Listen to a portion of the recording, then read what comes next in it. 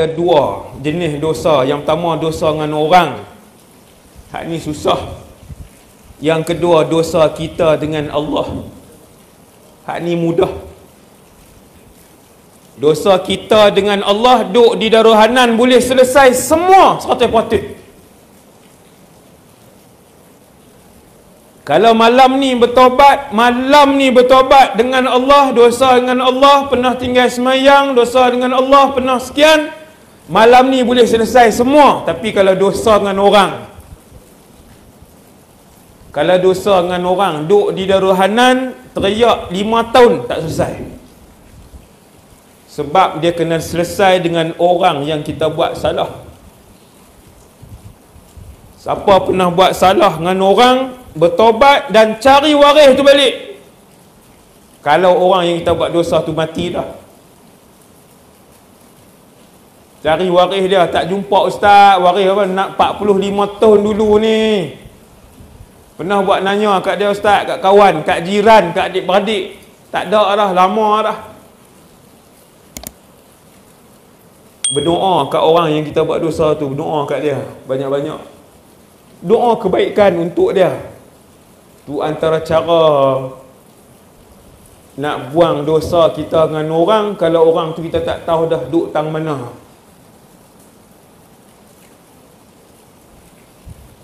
Sementara duk ada yang mana pernah tinggal semayang, qada semayang. Habis mayang maghrib, qada semayang maghrib. Hak dulu-dulu ni. Habis mayang isyak, qada semayang isyak hak dulu-dulu. Habis mayang subuh, qada semayang subuh. Sebab qada semayang dia tak ada waktu haram. 24 jam boleh qada. Lepas subuh ke, sebelum subuh ke, sebelum asar ke, lepas asar ke, sebelum maghrib ke, lepas maghrib ke, boleh qada. Tiap-tiap hari qada, sehari satu waktu. Lepas subuh, qada subuh. Lepas zuhur, qada zuhur. Saja aku solat fardu zuhur, 4 rakaat, qada. Hajar aku solat fardu isya empat rakaat qadaan. Selesai hutang dengan Allah, selesai hutang dengan manusia, boleh balik ke kampung halaman kita, rehat di kampung halaman kita. Kat sini nak rehat pun tak boleh rehat ustaz, sakit. Nak tidur pun tak jerap, nak rehat pun tak boleh rehat dengan perasaan sedih, kadang teringat, kadang macam-macam. Jangan risau di yang alam hak kita duduk, hak kita berasa angin, kita duduk nampak pokok lah ni. Hak kita duduk berasa tengok hujan lah ni. Yang ni bukan alam kekal, alam yang akan musnah. Tak payah sedih. Tak payah sedih, penyakit banyak, tak payah sedih, anak tak main tengok, tak payah sedih, duit tak ada, tak payah sedih. Ini bukan alam dia, bukan tempat untuk kekal. Tak payah risau. Sebab siapa-siapa masuk syurga Semua jadi raja Hari ini raja Kalau satu negeri seorang je Mana boleh seratus orang oh, Semua nak jadi sultan jenuh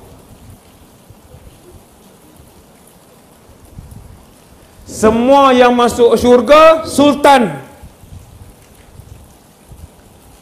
Satu hari Nabi cerita Orang nombor last masuk syurga Nombor last Nombor hak berapa bilion tak tahu.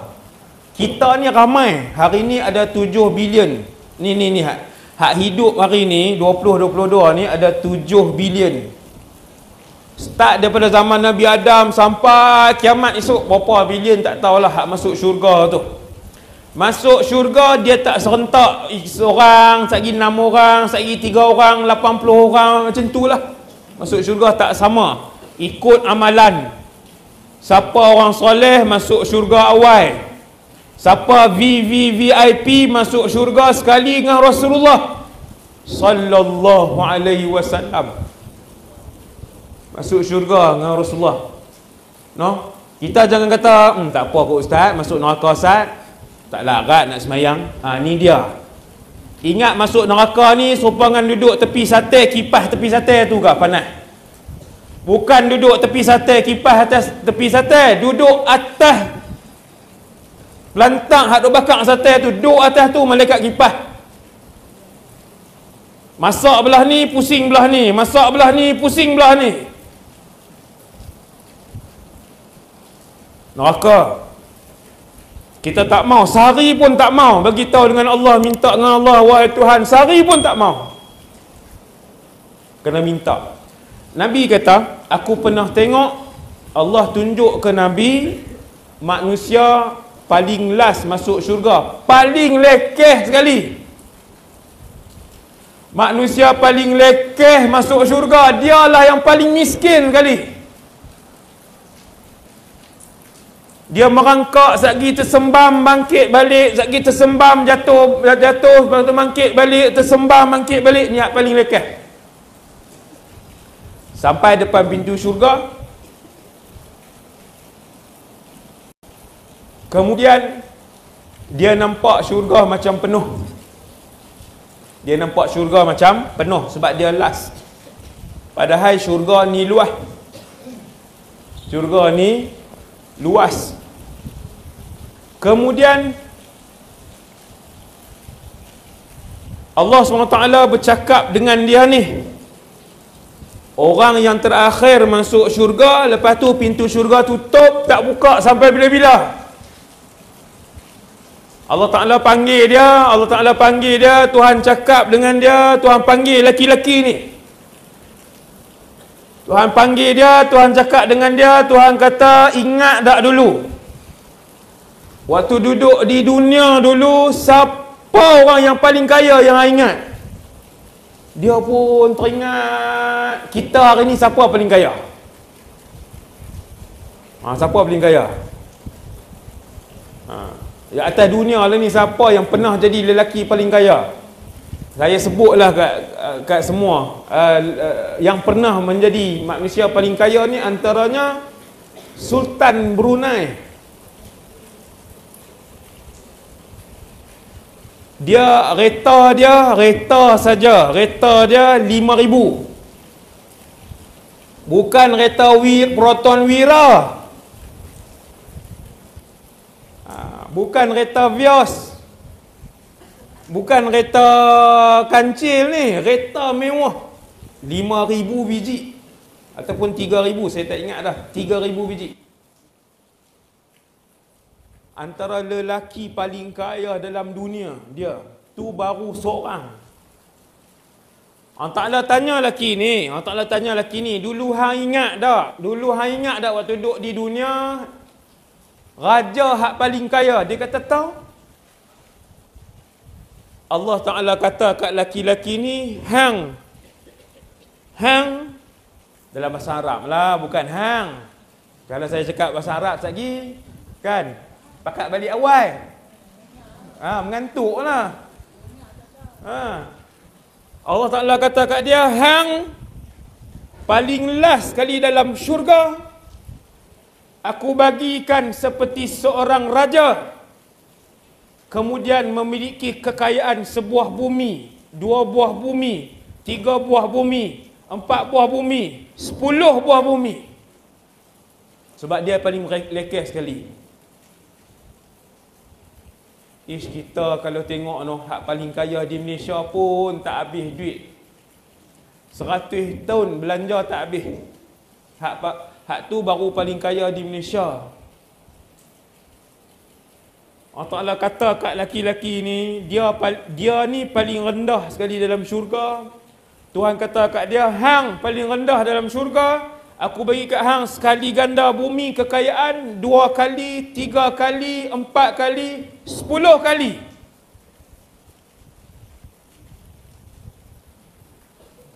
Apa dia kata? Dia kata apa kat Allah Ta'ala? Dia kata kau Allah Ta'ala mentang-mentanglah Tuhan Lepas tu duduk perli-perli saya pula Oh dia cakap macam tu Atas tahzi'u bi wa anta rabbul alamin Itulah masa Arab dia Allah Ta'ala bukan perli dia Tetapi itulah kekayaan Allah. Itulah kemewahan syurga. Kita bukan nak kejar dunia. Sebab tu saya selalu sebut kat diri saya, saya selalu sebut dalam ceramah, saya kata jangan sedih. Kalau sakit jangan sedih, kalau miskin jangan sedih, kalau sunyi jangan sedih, kalau jangan sedih. Sebab dunia ni sementara saja. Kita semua nak menuju ke satu tempat yang kekal abadi. Tempat itu tak ada orang sakit. Tempat itu tak ada orang sedih. Tempat itu tak ada orang miskin. Tempat itu tidak ada orang hina. Nama tempat itu Jannatun arduha samawati wal ard uiddat lil muttaqin. Syurga yang Allah Taala kata lebar nak masuk pintu dia selebar langit ke bumi. Punya luas syurga. Semua orang raja dalam syurga. Hari ini kita tak raja. Hari ini kita ada yang ada yang cleaner, ada tukang masak, ada yang pengarah, ada pengurus, ada yang cikgu, ada yang doktor, ada yang raja, ada menteri besar. Nanti bila masuk syurga, saya raja, tuan-tuan raja, ibu-ibu raja. Semua raja. Tak ada siapa suruh kita dah ustaz, tak ada siapa. Semua pekerja, semua ada istana besar-besar. Sebab tu ligan syurga. Kejar syurga. Yang tak ada tasbih, kena ada tasbih. No? Dalam poket kena ada tasbih. Hari-hari selawat. Selawat berhabis seribu tiap-tiap hari. No? Ini bukan senang nak jumpa lah ni. Tak tahu nak jumpa ke tak kan. Ha. Bulan depan ke, tahun depan ke. Wallahu a'lam. Siapa yang tak ada tasbih lagi, beli tasbih. Biar duduk di tangan. Ha, yang tak ada lagi, yang ada alhamdulillah. Selawat. Selawat pendek tak apa. Allahumma salli ala sayyidina Muhammad. Allahumma salli ala sayyidina Muhammad. Selawat. Sehari 200 apa tiap-tiap waktu 200 200 200 insya-Allah. No? Banyak kelebihan dia selawat. Siapa selawat sehari seribu Dia takkan mati Kecuali Allah tunjuk tempat dia Di akhirat kelak Allah tunjuk tempat dia Yang selawat seribu sehari Belilah tasbih no? Beli tasbih Jangan beli saja tak di tengkok pula. Kan? Ha, tak di tangan Putang tasbih. Waktu kosong Berzikir. Semoga berselawat kepada manusia yang paling Allah sayang. Nama dia Muhammad bin Abdullah sallallahu alaihi wasallam. Boleh dapat syafaat daripada Nabi insya-Allah. No? Ha, dapat syafaat daripada Nabi. Jadi saya rasa sekadar tu dulu uh, untuk ceramah malam ni uh, sekejap je eh? tapi semoga isi yang saya sampaikan tadi dapat manfaat dapat kita pegang sungguh-sungguh iaitu dunia ni bukan tempat kita nak duduk. Jangan sedih dengan ujian dunia sebab dia sementara sabak telan. Telan ujian yang kita dapat saya pun ada ujian ibu-ibu ayah-ayah pun semua ada ujian bukan tak ada semua ada hang mufti ke ustaz ke doktor ke profesor ke pengetua ke semua ada ujian sebab kita duduk di alam nama alam ujian. Alam ni nama alam ujian. Mesti ada ujian. Kena sabar aja. Nak tanya soalan ke? Ha, tu dia nak tanya soalan. Assalamualaikum warahmatullahi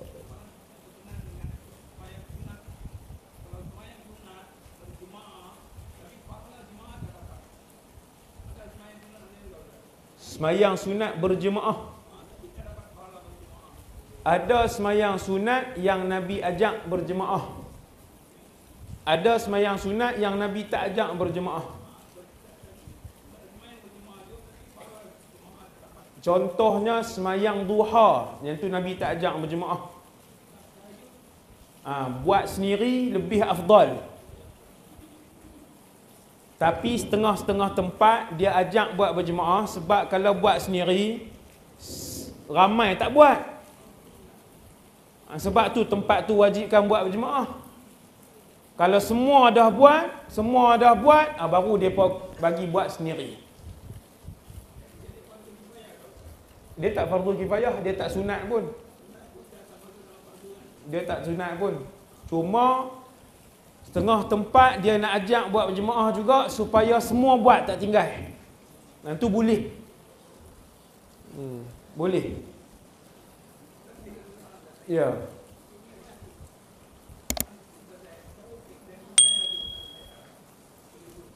Hmm.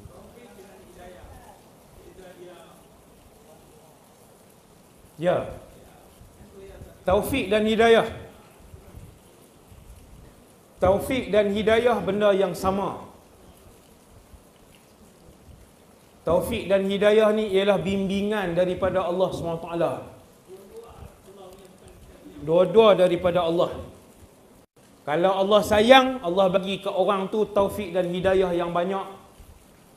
Tuhan sentiasa bimbing dia untuk buat benda baik. Ha, ini orang yang sentiasa diberikan taufik dan hidayah. Dia banyak buat benda baik. Tuhan selalu peringat dia untuk buat benda baik. Taufik hidayah benda yang sama. Hmm.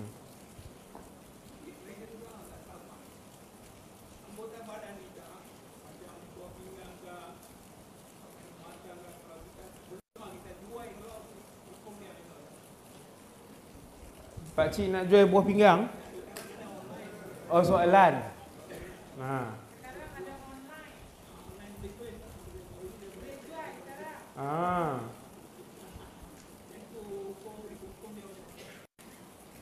Kita anggota kita ni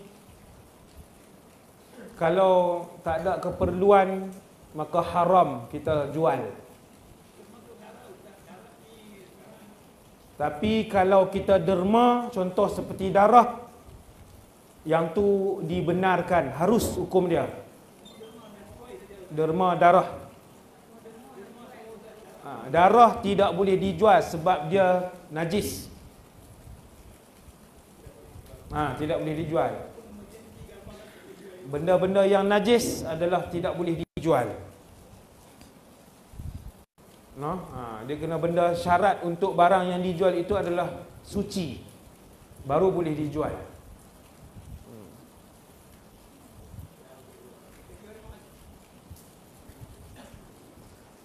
Tak ada apa no? Ha, yang tu saja, takat tu je untuk kuliah malam ni. Saya uh, serahkan kembali kepada ada apa lepas ni tak? Ha.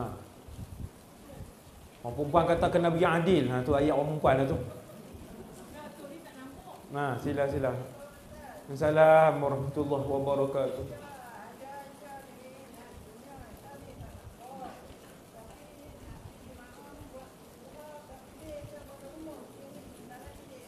Ah ya. Ha, buat nak nak berjemaah duha tak boleh buat dalam bilik. Tak ada masalah. Boleh. Ha, buat di buat di bilik pun boleh. No? Hmm.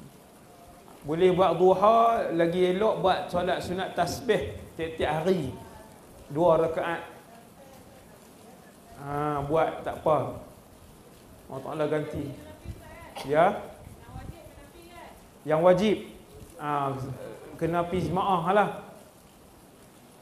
Mayang berjemaah sangat bagus. Mayang berjemaah, mayang fardu berjemaah. Ha. Ya?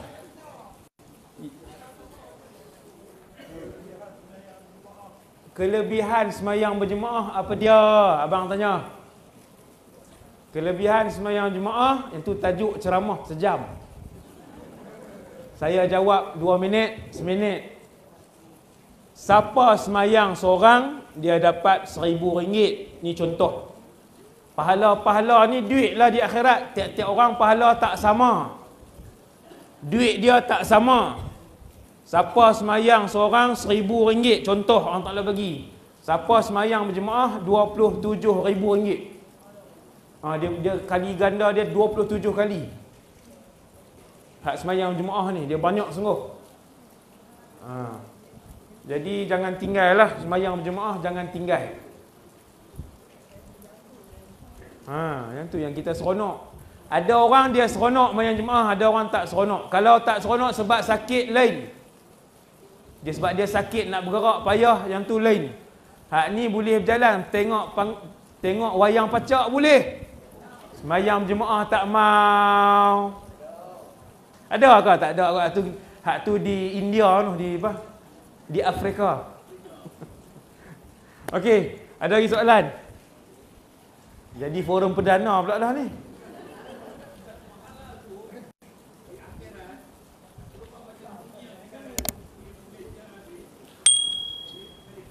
Ha. Ha, pahala ni lain dan dia boleh guna nanti di akhirat setiap orang. Sama aja. Satu negara, negara tu nama syurga. Duk duk satu negara nama syurga. Kalau duk neraka tak ada watawang.